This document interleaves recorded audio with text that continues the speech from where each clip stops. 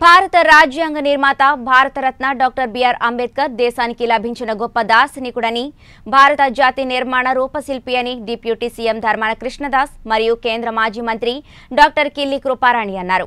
Doctor BR Ambedkar నూట ముప్పైవ జయంతి సందర్భంగా శ్రీకాకుళం జిల్లా పార్టీ కార్యాలయంలో అంబేద్కర్ విగ్రహానికి పూలమాలలు వేసి ఘన నివాళులర్పించారు.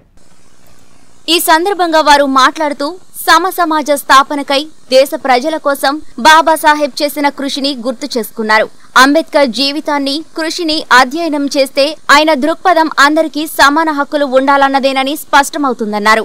స్వాతంత్రోద్యమ కాలంలో సామాజిక రాజకీయ హక్కుల కోసం అంబేద్కర్ నిరంతరం పోరాటం చేయడమే కాకుండా పౌరుల స్వాతంత్రం స్వేచ్ఛ కోసం సమాంతర ఉద్యమాన్ని తీసుకొచ్చారని జాతి మొత్తం ఈ విషయాల్ని అంగీకరించేలా చేశారని ఆ మహనీయుడి లక్ష్యాన్ని మనమంతా చేరుకున్నప్పుడే ఘన నివాళి ఇచ్చినట్లు అవుతుందని కృష్ణదాస్ అన్నారు. ఆయన్ను స్ఫూర్తిగా తీసుకుని సీఎం జగన్ రాష్ట్రంలో పరిపాలన సాగిస్తున్నారని స్పష్టం చేశారు. ఈ కార్యక్రమంలో వర్కింగ్ ప్రెసిడెంట్ సింహ రాజశేఖర్ ఇచ్చాపురం నియోజకవర్గ సమన్వయకర్త మాజీ ఎమ్మెల్యే పిరియా సాయిరాజ్ ఎస్సీసెల్ అధ్యక్షులు పొన్నాడ ఋషి తదితరులు పాల్గొన్నారు. సాంఘిక సమానత్వం కోసం అణగారిన వర్గాల వారి హక్కుల కోసం సమరశీల పోరాటాలు చేసిన సామాజిక విప్లవమూర్తి డాక్టర్ బిఆర్ అంబేద్కర్ గారు.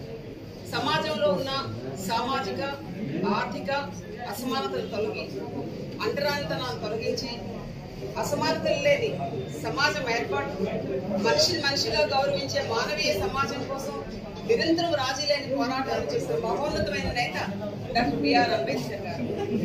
సముద్రంలో నావకు దిక్సూచి ఏ విధంగా ఉపయోగపడుతుందో భారతదేశ పురోగమనానికి అన్ని విధాలా ఉపయోగపడే భారత రాజ్యాంగ రూపకర్త డాక్టర్ బిఆర్ అంబేద్కర్ గారు.